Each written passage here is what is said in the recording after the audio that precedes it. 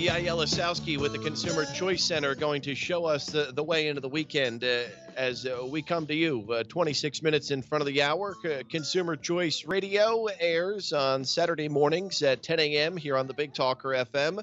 ConsumerChoiceCenter.org, their website, the grassroots movement for consumer choice around the globe. Yael once again broadcasting from Vienna, Austria, with us here in Wilmington this morning. Yael, my friend, I hope uh, your week has been a great one for you. Oh, sure has. Plenty of ups and downs, but I think we're going to have a good weekend ahead of us. Actually, putting some uh, pulled pork there on the uh, on the smoker, and uh, going to have a good time. So March is looking Uh-oh. up. Uh oh. With that said, uh, are you? Did you have to uh, send a, a written note to all of your neighbors in your complex to make sure that no one, uh, you know, calls the police on you? Because remember where you went down the road this past year when you decided to, you know, be a rebel uh, that you are and uh, you know smoke some meat in the middle of your courtyard. Yeah, this time we took the right precautions, Joe. We're we're going to do this uh, at a friend's house. They're a bit further away from the big city, and uh, kind of lessens uh, the impact of perhaps having the cops show up when you're just smoking some meat on the grill. Well, you know, easy way to buy off the cops, obviously, in Vienna is to give them a little, you know, taste of uh, what you're smoking. No, is that uh, the way you lobbied them the last time? Oh, you know, we, we offered. You know, they, they could have had a little bit of smoked turkey, but uh, I guess you know maybe they were kosher. Who knows? Uh, did not uh, take a bite, unfortunately. Yeah, Yael, uh, yesterday, uh, our commander in chief, meaning the 46th president of the United States, his name is Joe Biden. We know him better as Grandpa Joe uh, on this program. Uh, he took uh, to the stage and uh, addressed the American people, of course, signing a $2 trillion, what we know it as a COVID relief bill. There are many other terms that could be appropriately assigned to this piece of legislation, but, you know, in the form of the way in which they are bringing it to us as COVID relief. I mean, who's to say that it's not? Uh, it says it's COVID relief. Uh, so why would we be, you know, thinking that uh, any other money might be allocated to something else in this two trillion dollar bill? Uh, when we look at this uh, helicopter money, as you, you call it, uh, you know, fourteen hundred dollars per person sounds like a good thing for a lot of people who are struggling out there. Fourteen hundred dollars goes a long way for a lot of different people across our country uh, for maybe a, a couple of weeks uh, or maybe a month. Uh, but when you look at the overall two trillion dollar package, I mean, just divvy it up. Uh, If you're going to do it evenly among all Americans, you know, you're looking at maybe a fifteen, sixteen thousand dollar paycheck, along with the the other two pieces of legislation. Uh, you could have just forked over like forty grand to a household. Instead, uh, we'll be giving three and a half billion to the Bill and Melinda Gates Foundation. At the end of the day, you know, you know what is the real cost of this uh, to the American people? And I think that you know to begin, we obviously know that a lot of people are hurting. Many people have not had their businesses open. People have been out of work, and any kind of relief or any kind of plan that's put together that will get money directly in the hands of the people is something that people obviously like, and in many cases actually is very helpful. Now the question becomes what is exactly in the 1.9 trillion? I know you've had Brad Polumbo on to discuss, you know, some of the different projects and plans, but realistically, this is a huge payoff to many of the constituencies of the Democratic Party. There's a plenty of different, you know, big union bailouts in there. There's a lot for pension plans. Uh, there's a lot of stuff that is not in exactly the world of COVID relief, and I think that's that's it's very sad because that means that in the future, when they make the argument that we need to raise taxes, they're going to have all the ammunition they need, and this is exactly what's going to happen. It means that my child is going to have to pay more in the future, Joe. It means your child will have to pay more in the future. And we could pay in the next five to 10 years if we have some kind of inflation and the value of our money goes down. I know most Americans don't see this every day. However, what I see every day whenever I'm, you know, transacting between euros and USD and trying to figure out how to how to survive on either is that, you know, currency conversion is a big market and there are a lot of signals there and if we have like just a tad bit of inflation, you could see the value of the US dollar go down. That would be very bad for everybody. I think we don't need to uh, belabor that point. But this is the kind of thing where I wish that we just had the money that went to the individuals who needed it. We didn't have this huge payoff. I think that would be a much better program. And and even when we talked with Steve Forbes on our program, that's what he said is like, look, I'm not normally for these large bailouts, surely not for trillions uh, being printed up out of nowhere to be handed out. But if you're going to help people in the middle of a pandemic, get that money to people's hands directly, Need and it. that's it. That's it. and get it to the people who need it most. Uh, it just, uh, you know, and that would become a, a very complicated rather than just writing a check to everyone uh, like uh, they're going to, at least if, if you make below what the threshold is. You know, our argument is, and, and uh, I know you follow Dave Ramsey, as he said uh, a couple of uh, weeks back. Uh, you know, if you're making seventy-five thousand dollars a year, sixty thousand dollars a year, uh, generally in America, uh, if you're making sixty grand a year and still have a job, uh, what is six hundred dollars going to do for you, or what is fourteen hundred dollars going to do for you? Now, that's not to say that uh, you know that sixty thousand dollar a year person may be without a job uh, and uh, you know unemployed and unable to find work uh, and has all of these other expenses that are piling up. Uh, that this thing could be carved out for somebody like that, and we know that there are many people who make a lot less and are in a much different situation and a more difficult place in life. Our argument, as you kind of mentioned, is that let's uh, put the focus on the people who need it most uh, and uh, you know not all of these different sorts of uh, programs and other types of uh, spending that will go to as you mentioned you know mismanaged states. You know i made the you know question uh, kind of uh, a comical one earlier are all of the people moving to Florida and North Carolina out of the state of New York uh, once the Empire State is bailed out? Uh, will they be moving back to New York uh, because the Governor Cuomo and uh, their General Assembly will start making decisions because they'll be able to start with a clean slate, eliminate their budget shortfall, fix the pension issues? Will they then lower the tolls and lower the tax threshold for people to attract people back to their state? Do you think that will actually happen in a place like New York or New Jersey or Illinois now that they're going to be bailed out? Absolutely not. You know, it's all about a political culture, and the political culture in Illinois and New York and New Jersey, it's pretty clear, and it's been that way for a long time. You know, there is a lot of, of people who walk down those hallways and they wield a lot of power. And, you know, that's unfortunate because that's kind of how things are always going to go, and you're not really going to see some big shift. And I think we have to realize that now, all these months later, a year later, most of this stuff is kind of a smokescreen. And what I'm really concerned about, Joe, and I think many of your listeners, it's probably the same, is are we going to allow our political leaders to hold on to this kind of power going forward? I mean, most of the emergency declarations that have been offered by governors have actually been, uh, you know, put down in the courts, and there is actually growing skepticism about certainly the constitutionality of everything that's been done in the last year. But we have to stay vigilant, and we cannot allow our governors and sort of our local city councils to just have this much power on all uh, I guess all commerce, everything related to our private life. It was it's gone a bit too far. I know many people are still very afraid to say this because they're obviously scared of the virus. They're scared that their family might get sick, that they might get sick. Uh, without the vaccine, they're not sure that they can kind of speak up. But somebody has to do it because we cannot allow this kind of thing to continue. And there are a lot of plans in Europe that they're cooking up at the moment for these vaccine passports to try to track people and make sure that you know you have the vaccine before you're allowed to go anywhere. There's all kinds of stuff that people are cooking up, and many politicians and political leaders around the world have have just seen this as sort of the the witch's cauldron where they're able to try everything they've ever wanted to do. And I think that's very concerning. We have to go back to what our Constitution is about, to what our societies are about, and there's got to be some measure of responsibility. The entire fact that we had all these lockdowns, people were not able to make decisions for themselves, was incredibly paternalistic. Uh, that's definitely something that Consumer Choice Center we're going to be fighting against, and uh, we're going to be very vigilant because uh, look, there aren't too many of us out there who are making these points and being able to get that message across. Well, and there are efforts underway in states like North Carolina, Texas, New York uh, to create a system of checks and balances uh, for the top executive in each of these respective states, meaning the governor, to allow more input uh, and conversation within all elected officials, and particularly those who have the statewide uh, recognition in that executive branch, meaning their name is on the ballot all across the state and not just in one certain district or another. And that uh, you know any emergency that goes beyond uh, 25, 30 days, you know you need to have some type of consensus amongst these groups of people before you shut down your business or lock down the schools and uh, you know create a situation that we all lived through over the past year. I think that is you know just one small step that we can make uh, to bring in some accountability and transparency into the system. We'll see if it gains any traction.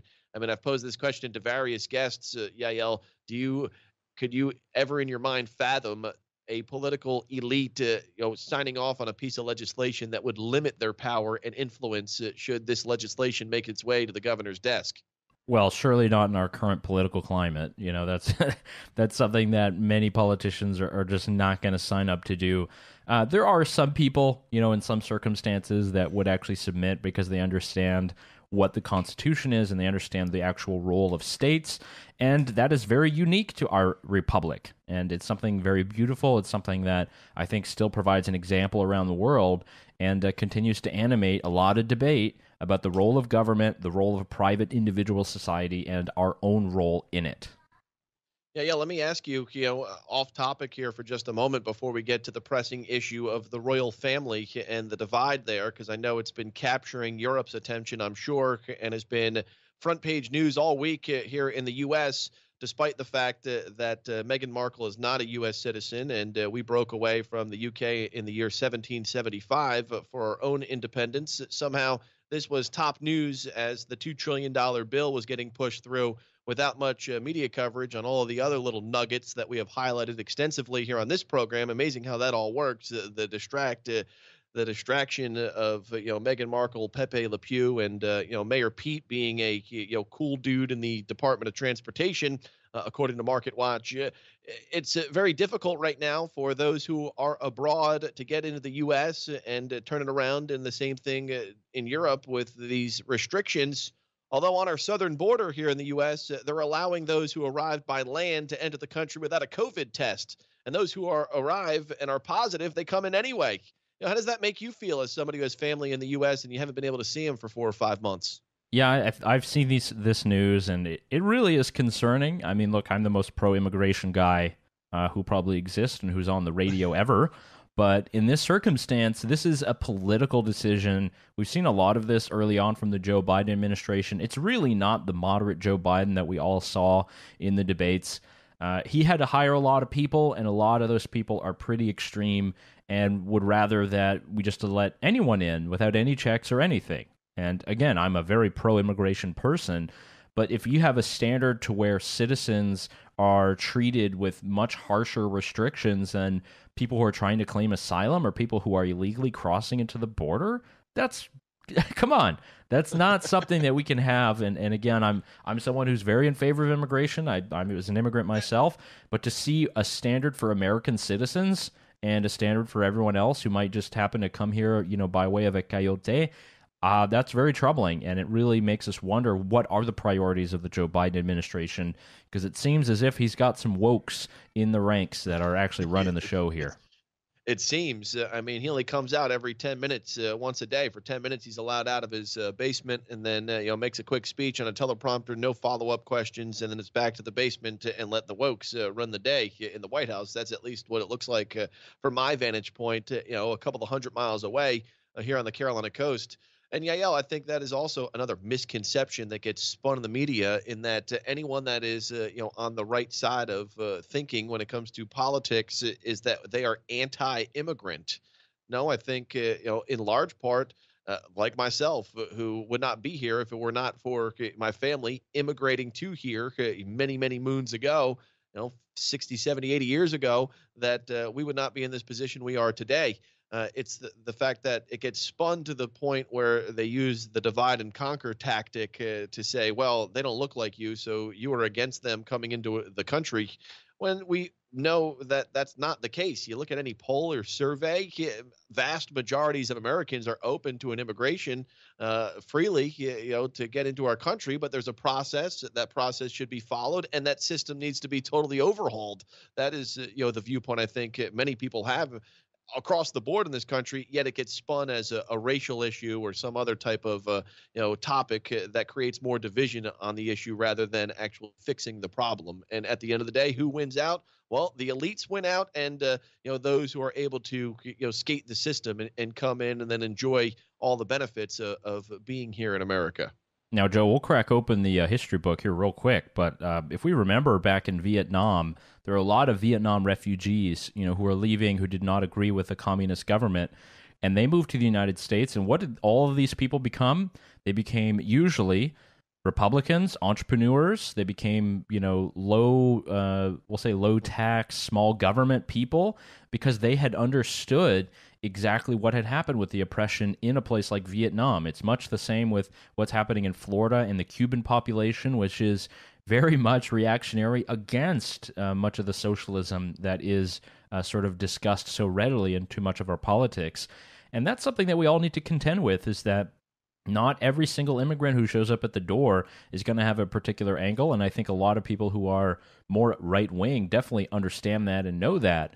But it is about following the rules, it is about having a process, and it is about giving people opportunity because it really is about fairness and equity. And the more that we can do that and offer that to people who come and immigrate to our shores, much like I did, that means that we're able to contribute to the American dream and actually provide, you know, that great level of American spirit, not just to our kids, to our community, but that's exactly what you know our republic is all about, and it's something I'm, I'm very happy to still be able to contribute to as uh, as the American government uh, takes my income tax money and sucks it up uh, to pay for certain things. But yeah, Joe, that's uh, it's a great spirit in the country. Uh, well, and no question, and I, I think on that, we, you often find those like yourself uh, and others who get the opportunity to come here. They do it the proper way, and they move forward. Uh, you end up becoming one of the more knowledgeable and well-versed, uh, you know, people in our society that are able to, you know, talk about the history of this country and its ability to lift people up from oppression due to the capitalism and the the free markets and the way of life uh, here in the U.S. And uh, it is oftentimes uh, immigrants like yourself are more appreciative and understanding of how that process works as compared to the you know the Joe Schmo everyday U.S. citizen who takes everything for granted. Yeah, you could imagine me taking that U.S. citizenship exam. You know, after having been through many courses of you know AP U.S. history, was a breeze. And I think I did it blindfolded while one arm was behind my back. So I think I did pretty good. Right. Right. Yet, thir- yet, like sixty percent of our U.S. citizens uh, would not be able to pass uh, that uh, citizenry test. What color is the White House? really, that was a question. That was a oh, question, of course. Uh, well, who's to say it's white, Yael? We're living in 2021. I want to say it's orange. Uh, you'll prove me wrong. Well, of course, yeah. And the Canadians burned it down in 1812, so who knows? It could be a, a whole other story behind that. I think it's cream colored, actually, with a rainbow on top. Yeah, Yael, let me ask you. You know, I'm sure in the UK there's been a lot of talk, uh, and across Europe uh, this week, uh, the Queen and the divide with uh, you know Harry and Meghan. Uh, I can't believe this is the distraction and topping the news cycle for a number of days. Share your thoughts, if you will, on this uh, situation with the royal family. Meghan is not; she's a Canadian citizen, is uh, if uh, I'm uh, correct, right? No, no, she, she's she's a U.S. citizen. I will oh, have she's to correct. a U.S. citizen. Yeah, I'll oh, have thought to was correct denouncing it. I thought. I no, forgot. no, no, no. Renouncing is actually very difficult, Joe. You actually need to pay a portion of your wealth to the government. So oh. I, d- I doubt she'll be doing that. Uh, but yeah, that's that's called the uh, expatriation tax. Uh, there's actually one of the founders of Facebook who did that. He moved to Singapore he ended up having to pay 20 million to the federal government. Mm. So let's look at this real quick, Joe. I look at it meta. Sure. Let's look at it like producers. So perfect setup. You know, they did the, the the days before the production. We see Oprah. We see the little clips and the freshers. We see the reaction of Harry. They're just pumping and priming to get a reaction from the royal family. I see this as the Crown season, you know, eighty five or whatever. Like they're just pumping us and priming us. We live in an entertainment society. That's something that we all kind of forget. You know, once the day is over, we're all gonna you know log in and stream. And we saw that kind of that that new entertainment, uh, political meshing uh, with much of identity politics, which is very unfortunate. So that was kind of just how I saw it. I don't have any uh, big take. I think it's interesting that many Americans side with Meghan Markle while most of the Brits are very much against her and it just comes down to yet another argument. It's as if we're having the American Revolution all over again. You know. quickly, let me ask you. You know, uh, in that you live in Europe, uh, and uh, you know, when we talk about pride that uh, one has for their nation, uh, where, wherever it may be, in Italy, France, uh, you know, Germany, Austria, the UK, for instance. Uh, you know, while you can pass freely and it's very easy to get to and from many different countries just because of the uh, the geography of everything. Uh, are the Spaniards very proud of being from Spain and differentiate themselves from the UK, or uh, you know the Italians very proud to be from Italy and the country they live in, or is it just kind of a, a mishmash? You know, I just want, want to get kind of the the feel for what European life is like for the everyday citizen, depending on which country you live in. What is so strange, Joe, is this is actually one of my side hustle topics that I love, but most people in Spain, you have to imagine they have a brewing constitutional crisis of separatism that happens every year. Uh, you have the people in Catalonia, the Catalans. Uh, you know, they organize their own referendums every couple of years, and they actually just stripped the former prime minister of Catalonia of his immunity. So he's actually going to be arrested for having organized a free vote on whether or not Catalonia, which is a part of Spain that's like Barcelona, should be free and it's in Italy it's much the same. You have the northern part of the country you know it's very industrial they have a lot of money. The south is kind of mafiosos. And there's a lot of you know separate uh, separatist movements. There is a lot of clashes within. It's the sort of urban rural divide but you know general pride is just not something that exists here it's actually frowned upon in germany and austria you know for obvious reasons nationalism being proud patriotism it's not something that you often see. You don't really see flags anywhere by private people. You only see it basically where the government is. No one is going to have an Austrian flag in their yard. Uh, people think that guy's a weirdo. So it's just not something that exists. And I think that's why the, the U.S. is certainly unique. You know, you have people who are very proud of their country, of their system. And it is something that is, instead of being based on history, which is Europe, it's based on an idea and philosophy and everything that our founding documents laid forth, that is what our society has created. And I think that's why we can be very proud and uh, why it still is one of the best countries in the world, no matter what they say, no matter what you read in those papers. Yael Ossowski with the Consumer Choice Center. You can catch uh, Yael and his tag team partner David Clement uh, tomorrow, 10 a.m. right here on the Big Talker FM, latest edition of Consumer Choice Radio. Yael, it's always a pleasure. Thanks so much for the insight and conversation this morning. Yes, sir. Let's go smoke some meat. Let's smoke some meat. Uh, Yael, gonna go out on a limb there. The rebel he is in Austria, smoking meat outdoors. Uh, may get the cops called on him like he did during Thanksgiving. Heaven forbid. All right, we're moving up into the top of the hour. Uh, the latest in cancel culture to wrap up the program after this timeout.